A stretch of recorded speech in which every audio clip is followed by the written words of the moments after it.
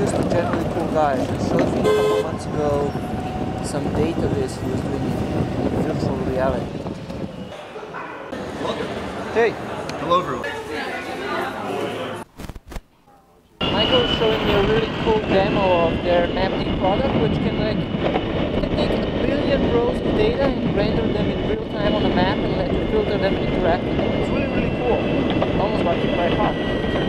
But I am we got lost in the demo, so now I'm late for a meeting.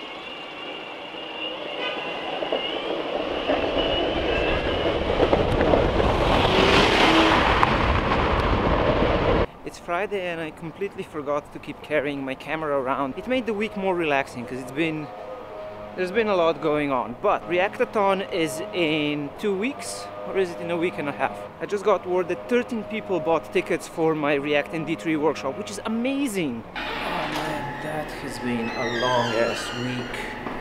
But we got an entire gigantic feature out, or well, it's going to deploy on Monday, but it's ready. Oh, I, I don't even know, man. I'm just tired. It's been a long ass week.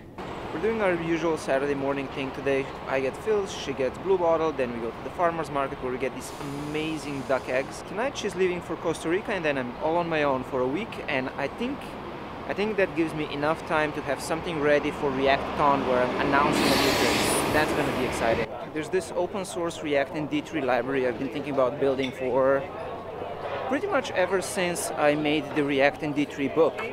I want to make it easier for people to actually use these technologies together, not just teach them about how to use it, but give them some tools. The idea is pretty simple. I don't want to make a library where you're given a bunch of predefined visualizations that you have to put together, and then as soon as you're trying to do something new, you have to, to really work hard and fight the library, which is usually what happens with these sort of libraries.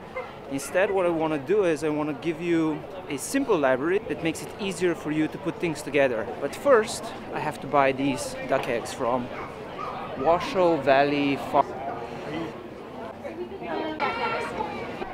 I need to work on my left bicep. Look, look at this difference in camera stability. This is my left hand, and this is my right hand. See? Big difference. I just learned something really interesting from the guy with the best meat on the farmer's market. Apparently, if you feed your animals with milk for the last couple of days before turning them into meat, they develop a more tender, whiter flesh. Here, here we can observe San Francisco's proudest tradition, the basic girl at brunch. Um, looking at Instagram We invited you as well. Okay, Morgan is off to Costa Rica for a week, and I have just about a week to prepare a talk for Reactathon and to polish up the workshop, make the updates from the feedback I got at the Fortune 5 workshop that I did, giving the same workshop at Reactathon. I want to update it. About a week, perfect timing. I just I just live coded a Chrome extension from scratch to finish in about three hours that blocks the Imgur homepage so that you don't get distracted and fall into this pattern of clicking on images, which happens to me a lot and I don't want it to keep happening. So the idea is that no more Imgur homepage, it's replaced with healthy tips for taking a break.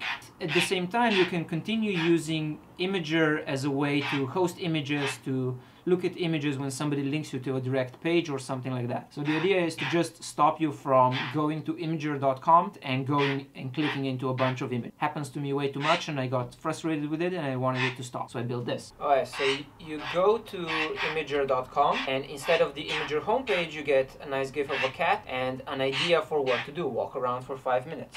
If you reload the page, you get a different one. You can gaze through the window. It's all open source, so people can go into GitHub and add more these ideas. Here it is. Full product in three hours. You, you can see the live coding session. I'm gonna launch it on Product Hunt tonight, and hopefully it's going to help some people. I'm pretty sure it's gonna help me a lot.